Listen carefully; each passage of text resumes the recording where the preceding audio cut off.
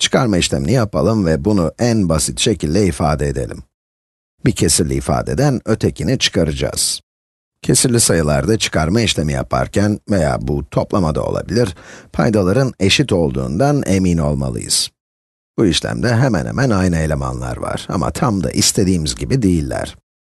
Şimdi yapmamız gereken 7m kare n ve 3m n üzeri 4 sayılarının en küçük ortak katını bulmak. Sonra da ortak bir paydamız olacak. Şimdi bunu yapalım. Her iki sayıya da bir göz atalım. Bir tarafta 7 var, diğerinde 3 var. Buna bakacak olursak ortak paydanın hem 7 hem 3 tarafından bölünebilmesi gerekiyor.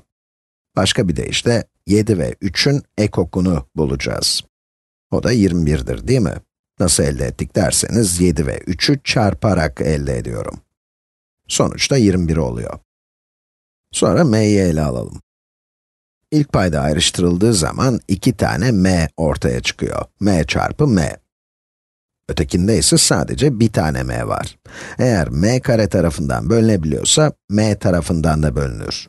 O zaman sadece m kare yazmamız yeterli. Şu anki duruma bakarsak paydamız 7, 3, m ve m kare tarafından bölünebilir durumda. Yani m'lerle işimiz bitti, sıra n'lerde.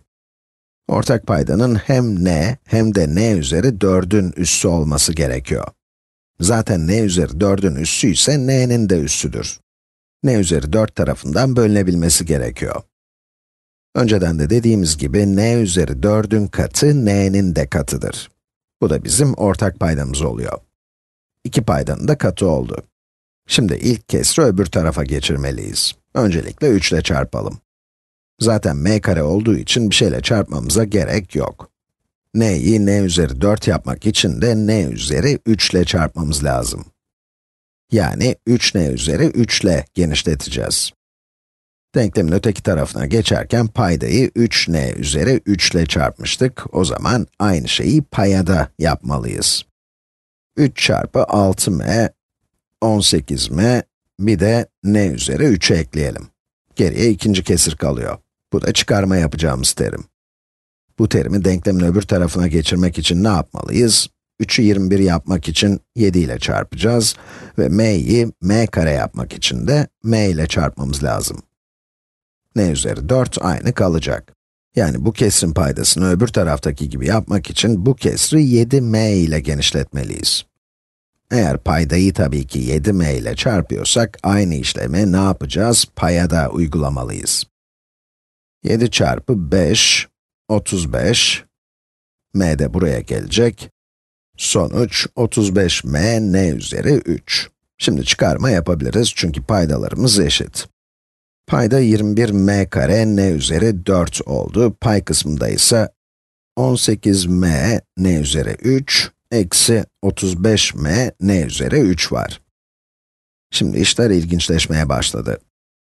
Elimizde katsayısı 18 ve 35 olan iki adet m n üzeri 3 terimimiz var. Bu iki terimi birbirinden çıkaracağız. m'nin üssü aynı, n'nin üssü aynı. Yani bir şeyin 18 katı eksi aynı şeyin 35 katı bize hangi sonucu verir? 18 eksi 35 eşittir eksi 17. Eksi 17 m n üzeri 3 ve paydada da 21m kare n üzeri 4 var. Bakalım bunu sadeleştirebilir miyiz? Pay 17 yani asal bunu 21 ile sadeleştiremeyiz. Ama hem pay hem de payda m ile bölünebilir.